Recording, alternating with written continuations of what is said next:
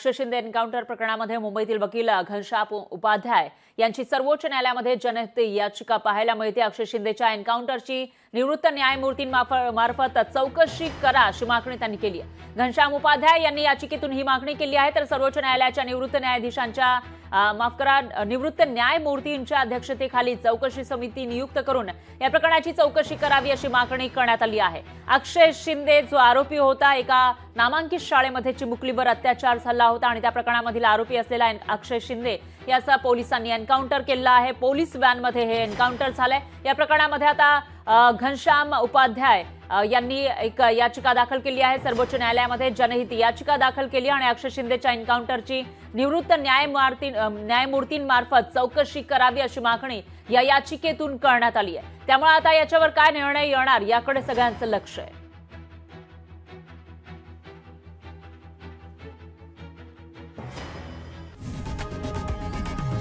लोकशाही मराठी.